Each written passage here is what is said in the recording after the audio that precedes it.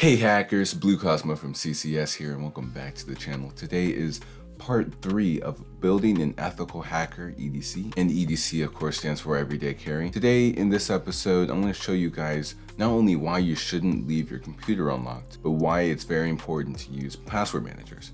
Because I'm gonna show you guys how easy it is to exfiltrate web credentials by using the Bash Bunny. And also we got the black and red because it's the colors of the Bash Bunny. We gotta represent right. But before we dive into that, I have to do, you know, the YouTube law.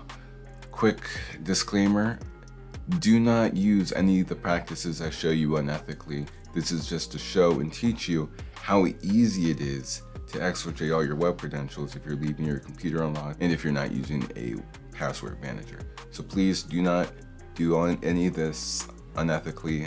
If you're not in the cybersecurity profession, then don't do this.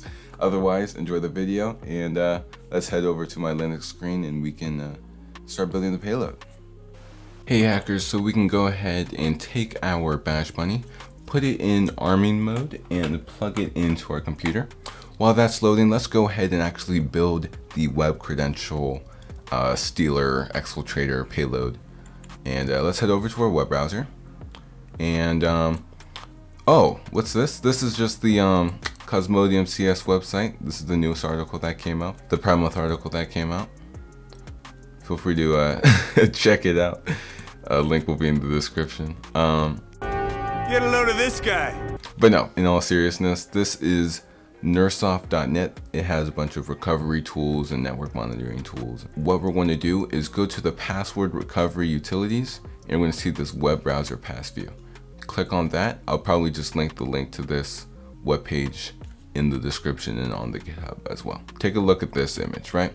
So I'm sure most of you guys use Chrome or Firefox where you can save your passwords onto the web browser, right? And the web browser will autofill them for you. That's great and all, but except it's not great and all because although your browser is saving it to the cloud, it is also saving it onto your computer in a certain file within your app data folder, I believe. And what this program is doing is basically going through all those files and just showing the passwords that your web browser has saved onto your computer. So if you're using a password manager, you won't have to worry about this because the passwords aren't being saved onto your computer. So let's go ahead and use this program to actually use that as an exploit, right? And use that vulnerability, I guess, as an exploit, right? So we're going to go ahead, zoom back out of here, and we can go to the bottom of the web page where you'll see this zip file and we're going to go ahead and click on the zip file right here let that download then we can head over to our terminal our terminal is already in our EDC uh, directory where we've been making all the other projects. So you see I have the uh, rubber ducky right here. So let's make our bash bunny uh, payload. Bash bunny right? We can cd into the bash bunny and or change directories into the bash bunny. And we will make a directory and we'll call this uh, web tech credential. I think that's a cool name. And we can change our directory into the web credential directory and then clear everything because that terminal was getting too big right so what we're going to do is move our uh, downloads whoops downloads and then the web browser zip file that we just downloaded. I'm going to move it into our current directory. There you go. And uh, if we list, you can see we have the zip file right there. So let's go ahead and unzip the web browser file and it's going to ask us for a password. Right underneath the link to download the web browser um, exfiltrator or web, web credential exfiltrator is the password. So you guys can go ahead and copy that and uh, head over to your terminal and paste it in there. Great, so we can clear this. And now if we list, we can see that we have the appropriate files in here. So let's go ahead and delete the zip file because we already um, X, we already unzipped it. And then we're gonna go ahead and rename our exe file in our CHM file because we want our payload to be quick and if we are going to use the bash bunny to run this file, we don't want to type all this out, all right? So we're going to just change the name of the web browser.exe file and we're going to rename it to capital P.exe. And then we're going to do the same thing for the CHM file. Uh, .chm. Clear? And if we list, you can see we have a capital P.chm, P.chg, that P.exe, and then our README or whatever. So let's go ahead and touch a file. We'll call this payload.txt.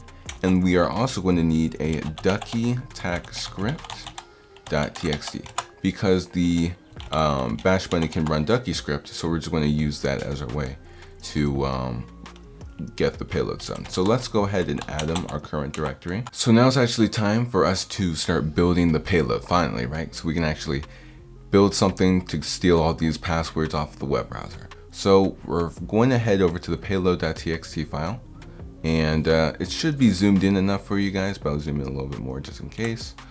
And the first thing we want to do is do our LED setup. I'm just going to say that um, the LED status is just showing that we're setting up to do the payload, right? We're going to do a get switch position, and this gets whatever position the switch is on, right? The switch on the bash bunny. Um, when it's separated by LED positions. Then we're going to do an attack mode uh, HID storage. And if you don't know what this means, you, I don't know if you remember me mentioning how the Bash Bunny can pretend to be other devices and mimics other devices. Well, the Bash Bunny, we can set its attack mode to an HID storage or human interface device storage. So something like a USB drive or a micro SD card basically, right? Um, the last thing we're going to do is uh, go ahead and actually no, that's it. So we can LED stage one because now we're in stage one. And we're going to use the quack command to run ducky script. And then we're going to get our variable for the switch position. And then we're going to parse it into this path for the ducky script file. So ducky script.txt and then we're going to do a quack for the longest delay we can do, which I believe is 10 seconds or 10,000 milliseconds, right? Um, then we can do an LED finish to let the um, user know that the program is done, all right? So that should be it. So we can save this and close this. We can use a control backslash to open this panel up and we're going to open our duckyscript.txt file, all right? Now um, my Atom has our uh, Ducky script already enabled in here, or Ducky script syntax highlighting, so we're going to enable that. And the next thing we're going to do is actually build the Ducky script, right? So we can go ahead and make a comment here saying exfiltrate web passwords uh, to a USB twin duck or bash bunny because this will work with all three. You just have to configure it right, all right? And we can give ourselves some credit. Created by Cosmo. So if you guys don't know Ducky Script, then that's okay. Um, I have a video up here, I'll link and in the description and on the web on the GitHub repository on how to use the USB rubber ducky. And I literally go over everything you need to know and how to use it so feel free to check that out. Again, it'll be in all of those places where you can find it, all right? So we're going to do this by, we're going to have that good uh, ducky etiquette and let our computer recognize our bash bunny. And then we can delay for about 1000 sec or 1000 milliseconds, so one second. We're going to open PowerShell through the run box, right? And we can do that syntax. So GUIR, delay for about 200, string, whoops, string, whoops, string PowerShell. And then we can hit the enter key, delay for about 300 milliseconds. And then we are going to change our directory um, into the bash bunny. All right. And we're also going to need to add our path to the clipboard only because we're going to be saving all those passwords we get from the executable file. So we need to know what path we need to save it to, right? So we can go ahead and string. Um, so I don't know if you guys remember if you saw the previous video, but we basically used this syntax um, to change our directory into a drive labeled a certain name. And we're gonna go ahead and get that. So we're gonna cat um, out of here, here into our rubber ducky, um, and then our payload dot txt. Go ahead and copy this. Again, you don't have to do anything right now. You guys can just take the code off of the GitHub page. So we're gonna paste this into here. And let's go ahead and hit the enter key, right? We're going to delay for about uh, 200 milliseconds. Then we can do a string and then make directory because we're going to make a directory where we can save our loot in our loot directory on the bash bunny. Then we can name that file after the username of the person's computer. We can do an enter and then we can delay for about another 200 milliseconds. We're going to string and we're going to change our directories into the payloads directory and then switch one because I want this to be on switch one and then we can go ahead, whoops, and then hit enter, and then delay for another 200 milliseconds.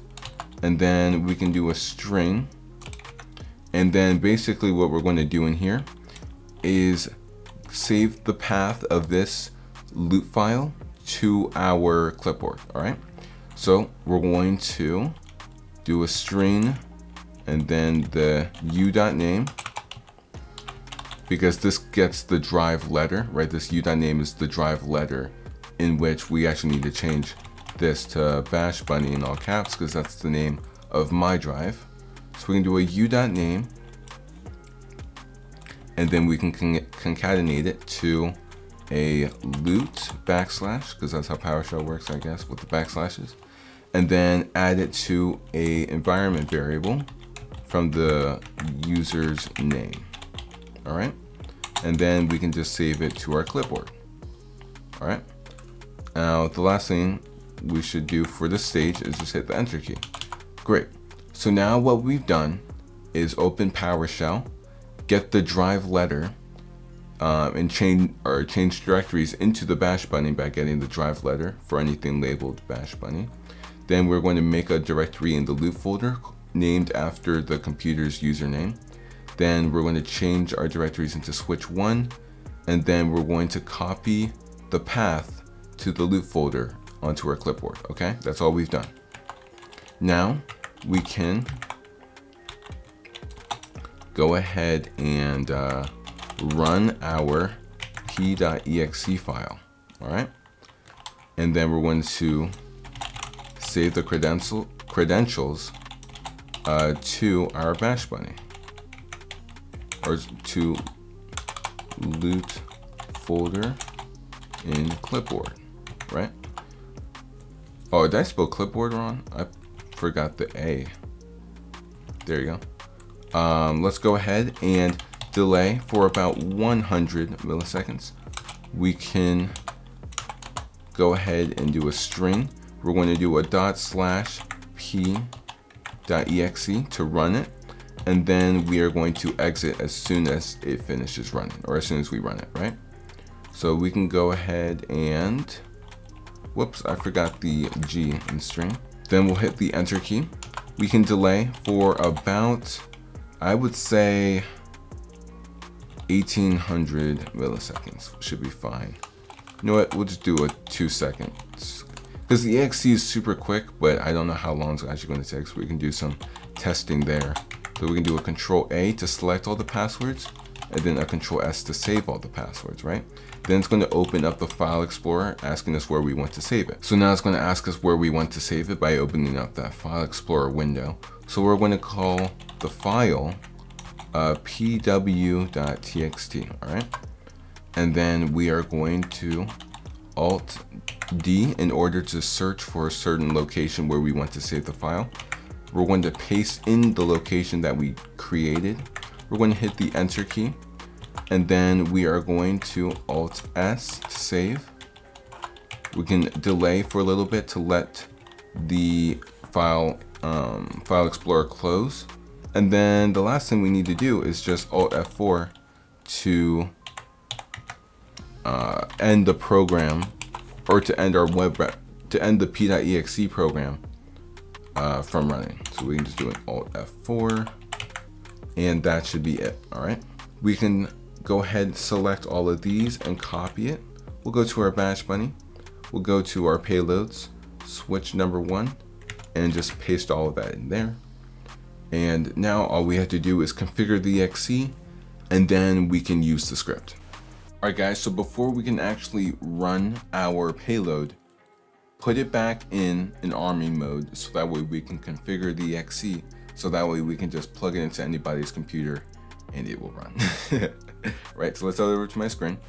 Before I plug in our uh, Bash Bunny to exfiltrate our web credentials, I just want to say, if the program is not working, just extend the delays because the program does work, but depending on your computer, um, I know Windows will try to detect to see if the keystrokes are too fast. They'll sometimes try to stop it, at least on my computer.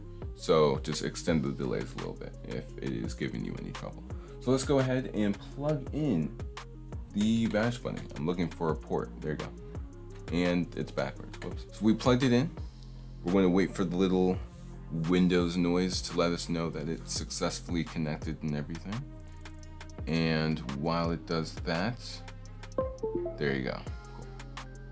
So then it should open up PowerShell and do its thing. Open up PowerShell. You get this. It's saved. Oh snap! What? No way! Hold on, hold on, hold on. So if I open up um my file explorer and go onto our bash bunny, we'll go into the loot directory. All right, so we have the wait file, which is the name of my computer, and we have a pw.txt. And I'm going to have to blur this out because, wow. Okay, so it uh it works. I can tell you that. uh, yep. All right. Get usernames and passwords. Um, yeah, but none of my accounts that are connected to my uh, password manager are on here. Luckily for me. Because if I go like control F, I'll do like hack the box. Yeah, exactly. It's not on here. Yeah. Okay. So, um, use this responsibly, or hopefully don't use this at all. Um, yeah, this is. Wow. Okay, how many lines are in this file? 2420 lines. Wow.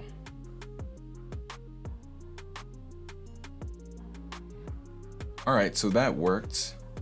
Um, you can, you know, just plug this into anybody's computer and get at least, you know, 2,400 lines worth of credentials. Then it even tells you the password strength.